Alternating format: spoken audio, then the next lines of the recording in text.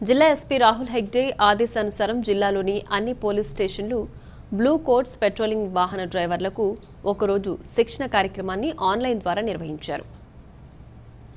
ఈ శిక్షణ కార్యక్రమాన్ని వేములవాడ సీఏ వెంకటేష్ నిర్వహించగా మహిళలకు ఎదురయ్యే సామాజిక చట్టపరమైన సమస్యలు భరోసా ఇవ్వాలని పోలీస్ శాఖ భావిస్తూ బ్లూ కోట్స్ పెట్రోల్ కార్లను ఏర్పాటు చేసి విధులు నిర్వహిస్తూ ప్రజలకు మహిళలకు భద్రత ఇవ్వడం జరుగుతుందన్నారు.